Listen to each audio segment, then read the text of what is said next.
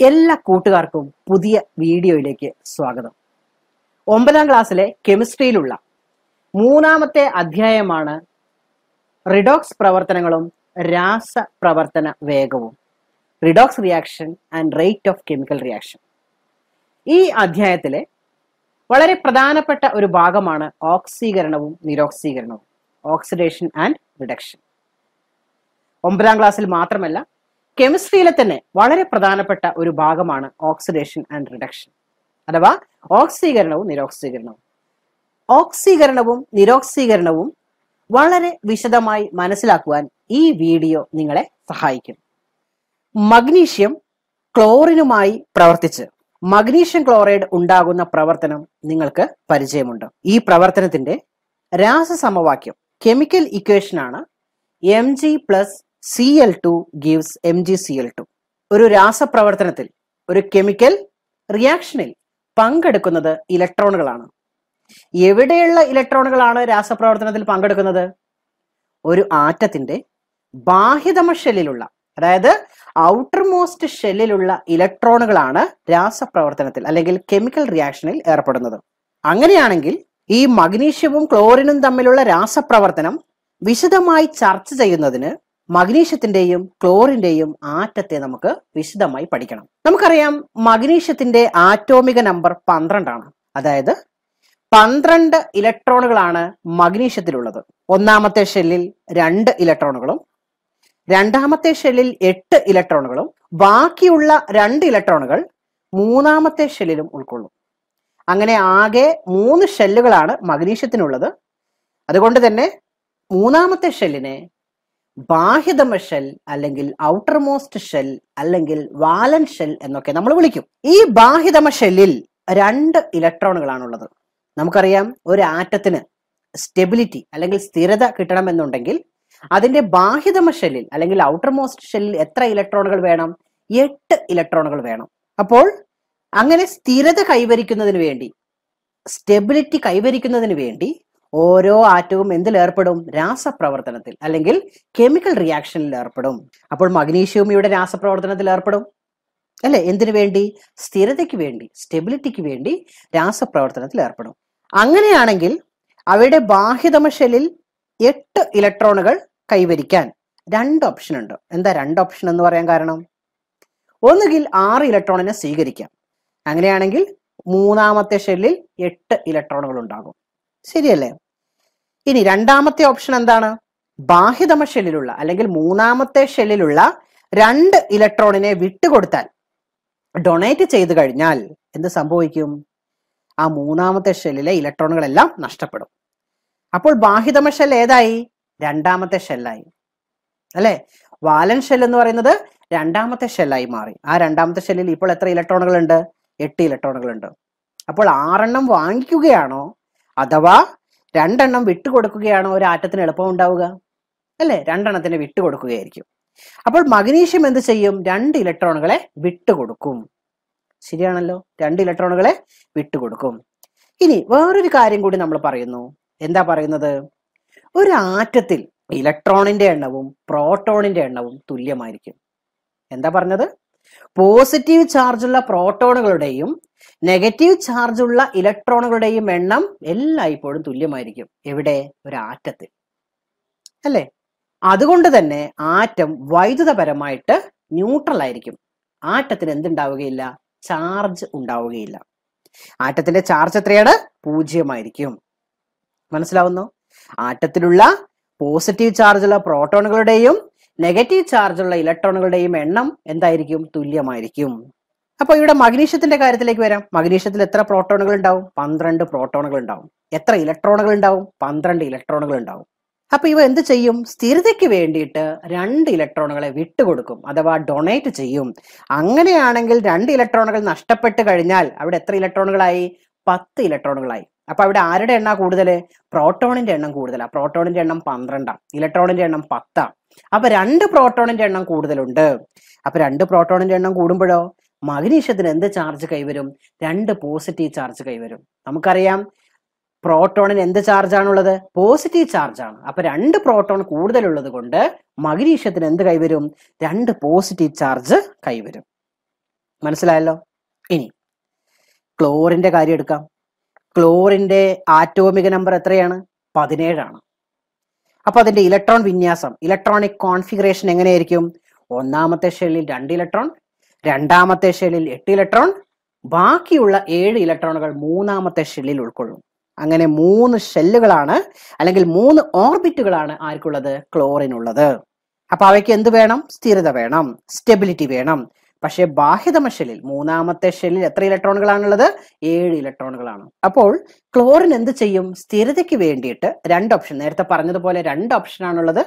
ഒന്നുകിൽ ഒരു ഇലക്ട്രോണിനെ സ്വീകരിക്കുക ഒരു ഇലക്ട്രോണിനെ റിസീവ് ചെയ്യുക അല്ലെങ്കിൽ ഏഴ് ഇലക്ട്രോണിനെ വിട്ടുകൊടുക്കുക. ഒരു ഇലക്ട്രോണിനെ സ്വീകരിക്കുമ്പോൾ എന്താ സംഭവിക്കുക? മൂന്നാമത്തെ ഷെല്ലിൽ എട്ട് ഇലക്ട്രോണുകളാവും. അല്ലെങ്കിലോ രണ്ടാമത്തെ ഓപ്ഷൻ ഏതാ പറഞ്ഞത്? ഏഴ് ഇലക്ട്രോണുകളെ വിട്ടുകൊടുക്കുക. അങ്ങനെയാണെങ്കിൽ മൂന്നാമത്തെ ഷെല്ല് മൂന്നാമത്തെ ഷെല്ലിൽ ഇലക്ട്രോണുകളെല്ലാം തന്നെ നഷ്ടപ്പെടും.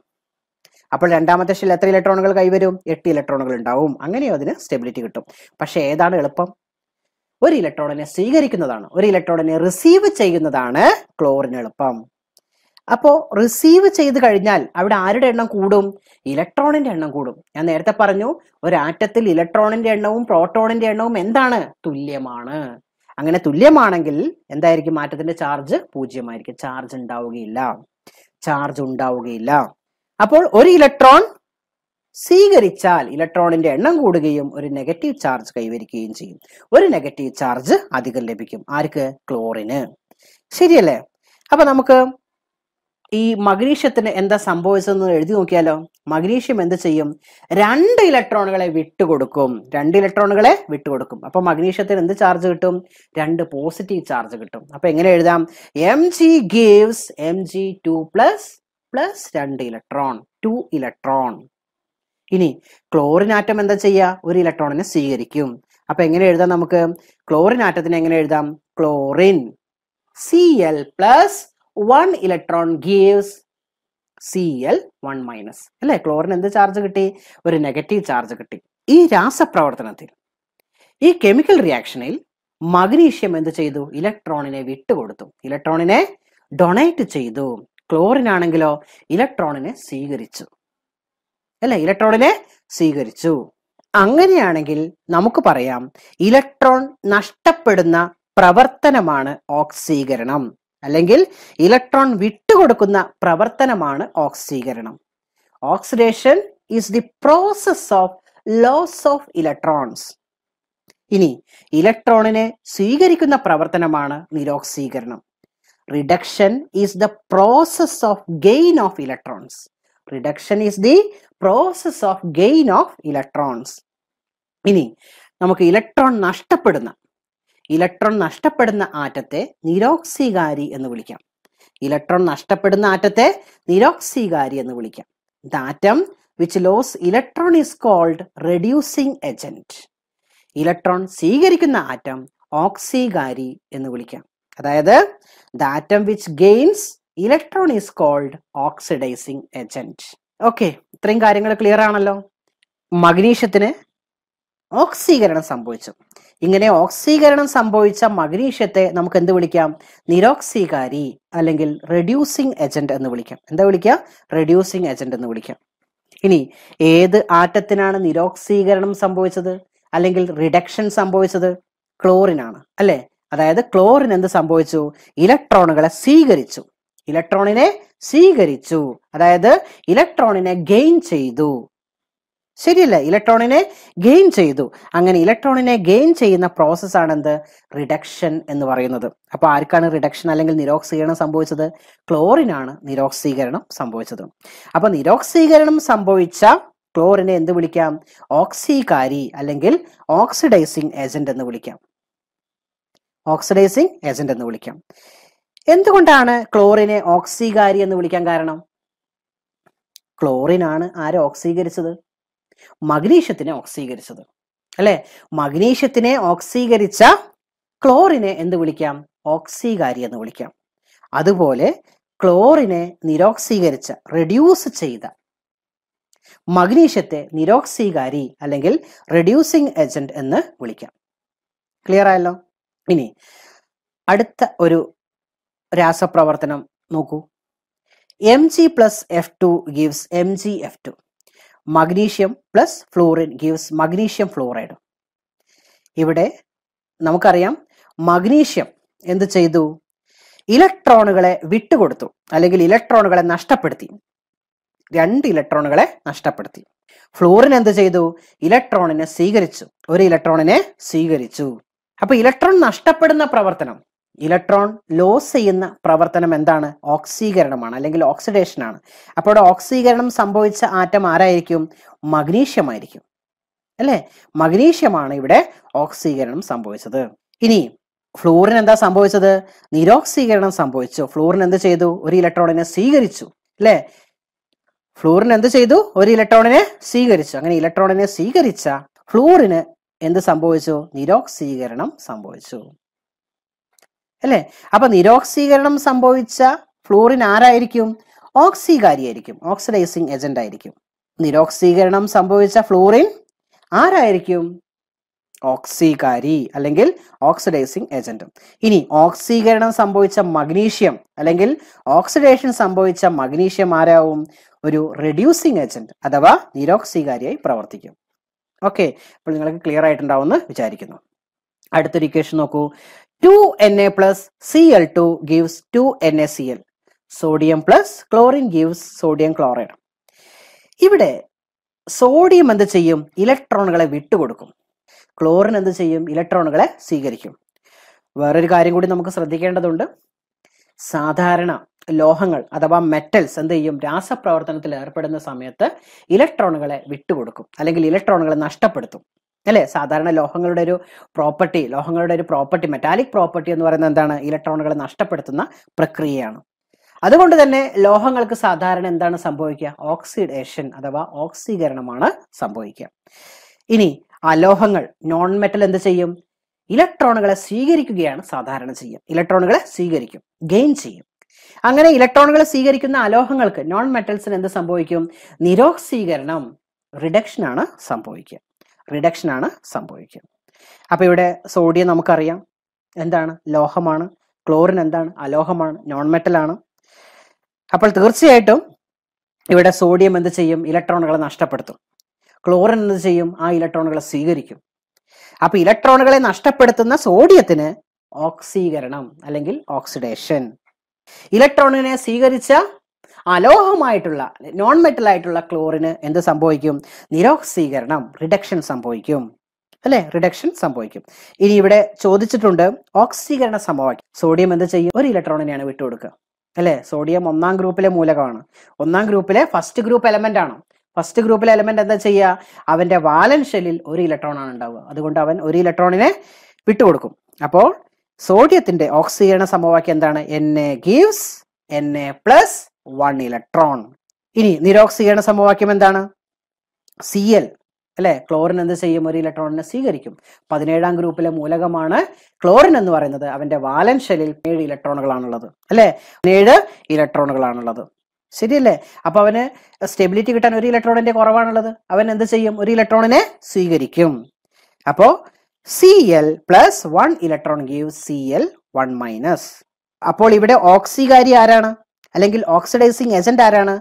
നിരോക്സീകരണം സംഭവിച്ച അല്ലെങ്കിൽ റിഡക്ഷൻ സംഭവിച്ച ക്ലോറിൻ ആണ് ഇവിടെ ഓക്സികാരി അല്ലെങ്കിൽ ഓക്സിഡൈസിങ് ഏജന്റ് നിരോക്സികാരി ആരാണ്? റെഡ്യൂസിങ് ഏജന്റ് ആരാണ്? ഓക്സീകരണം സംഭവിച്ച സോഡിയമാണ് അല്ലെങ്കിൽ ഓക്സിഡേഷൻ സംഭവിച്ച സോഡിയമാണ് ഇവിടെ നിരോക്സീകാരി അല്ലെങ്കിൽ റെഡ്യൂസിങ് ഏജന്റ് എന്ന് പറയുന്നത്.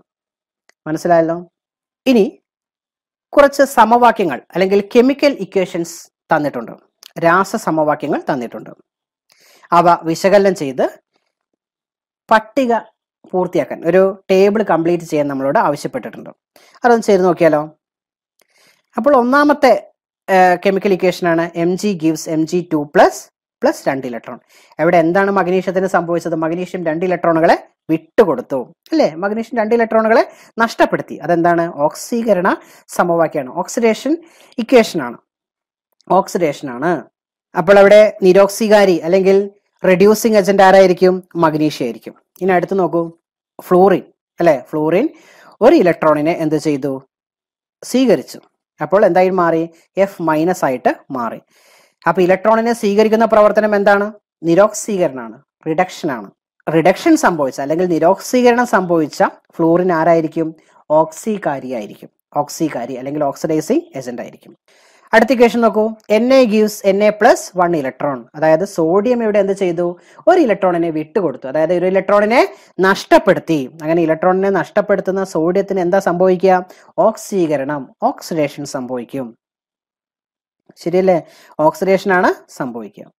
അപ്പോൾ ഓക്സീകരണം സംഭവിച്ച സോഡിയം ആരായിരിക്കും? നിരോക്സീകാരി അല്ലെങ്കിൽ റെഡ്യൂസിങ് ഏജന്റ് ആയിട്ട് പ്രവർത്തിക്കും. അടുത്ത ഇക്വേഷൻ നോക്കൂ. C L plus one electron give C L minus chlorine ഇവിടെ എന്ത് ചെയ്തു? ഒരു ഇലക്ട്രോണിനെ സ്വീകരിച്ചു. ഒരു ഇലക്ട്രോണിനെ സ്വീകരിച്ചു. ഒരു ഇലക്ട്രോണിനെ ഗെയിൻ ചെയ്തു. അപ്പോൾ ക്ലോറിൻ എന്താ സംഭവിക്കുക? നിരോക്സീകരണം അല്ലെങ്കിൽ റിഡക്ഷൻ സംഭവിക്കും. നിരോക്സീകരണം സംഭവിച്ച ക്ലോറിൻ ആരായിരിക്കും? ഓക്സികാരി ആയിരിക്കും. ക്ലോറിൻ ആരായിരിക്കും? ഓക്സികാരി. ഇനി അടുത്ത്. F E gives F E two plus two electron അല്ലേ? ഇവിടെ അയൺ എന്ത് ചെയ്തു? രണ്ട് ഇലക്ട്രോണുകളെ വിട്ടുകൊടുത്തു. ഇലക്ട്രോണുകളെ വിട്ടുകൊടുക്കുന്ന പ്രവർത്തനം എന്താണ്? ഓക്സീകരണമാണ്. അതായത് ഓക്സിഡേഷൻ ആണ് F E gives F E two plus plus two electron അതെന്താണ്? ഇക്വേഷൻ ഓഫ് ഓക്സിഡേഷൻ ആണ്. ഇനി അടുത്ത് നോക്കൂ. ഓക്സിജൻ പ്ലസ് രണ്ട് electron gives O two minus oxygen എന്ത് ചെയ്തു? രണ്ട് ഇലക്ട്രോണിനെ സ്വീകരിച്ചു. അല്ലെ? ഗെയിൻ ചെയ്തു. അങ്ങനെ ഇലക്ട്രോണിനെ സ്വീകരിക്കുന്ന പ്രവർത്തനം എന്താണ്? നിരോക്സീകരണമാണ്. നിരോക്സീകരണം സംഭവിച്ച ഓക്സിജനെ എന്ത് വിളിക്കാം? ഓക്സികാരി ഓക്സിഡൈസിങ് ഏജന്റ് എന്ന് വിളിക്കാം. പ്രിയമുള്ളവരെ ഇന്നത്തെ ക്ലാസ് ഇവിടെ അവസാനിപ്പിക്കുകയാണ്. നമ്മൾ എന്താണ് ഇന്ന് പഠിച്ചത്? ഓക്സീകരണവും നിരോക്സീകരണവും. അല്ലെ? ഒരാറ്റം ഇലക്ട്രോൺ നഷ്ടപ്പെടുന്ന ഇലക്ട്രോൺ നഷ്ടപ്പെടുത്തുന്ന അല്ലെങ്കിൽ ഇലക്ട്രോൺ വിട്ടുകൊടുക്കുന്ന പ്രവർത്തനമാണ് ഓക്സീകരണം അഥവാ ഓക്സിഡേഷൻ. ഇലക്ട്രോണിനെ സ്വീകരിക്കുന്ന ഗെയിൻ ചെയ്യുന്ന പ്രവർത്തനമാണ് നിരോക്സീകരണം അഥവാ റിഡക്ഷൻ. അല്ലെ? ഓക്സീകരണം സംഭവിച്ച ആറ്റം നിരോക്സീകാരിയായും റെഡ്യൂസിങ് ഏജന്റായും നിരോക്സീകരണം സംഭവിച്ച ആറ്റം ഓക്സീകാരി അല്ലെങ്കിൽ ഓക്സിഡൈസിങ് ഏജന്റായും പ്രവർത്തിക്കുന്നു. ഒന്നുകൂടി പറയാം. ഓക്സീകരണം സംഭവിച്ച ആറ്റം ഓക്സീകരണം സംഭവിച്ച ആറ്റം ഓക്സിഡേഷൻ സംഭവിച്ച ആറ്റം നിരോക്സീകാരിയായും അഥവാ റെഡ്യൂസിങ് ഏജന്റായും നിരോക്സീകരണം സംഭവിച്ച ആറ്റം റിഡക്ഷൻ സംഭവിച്ച ആറ്റം ഓക്സികാരിയായും പ്രവർത്തിക്കുന്നു. അല്ലെങ്കിൽ ഓക്സിഡൈസിങ് ഏജന്റായും പ്രവർത്തിക്കുന്നു. ചുരുക്കി പറഞ്ഞാൽ ഓക്സീകരണം സംഭവിച്ച ആറ്റം നിരോക്സീകാരിയും നിരോക്സീകരണം സംഭവിച്ച ആറ്റം ഓക്സികാരിയും ആണ്. ആ കാര്യം മറക്കരുത്. എല്ലാ കൂട്ടുകാർക്കും ഈ വീഡിയോ ഇഷ്ടമായെന്ന് കരുതുന്നു. പുതിയ വീഡിയോയുമായി വീണ്ടും കാണാം.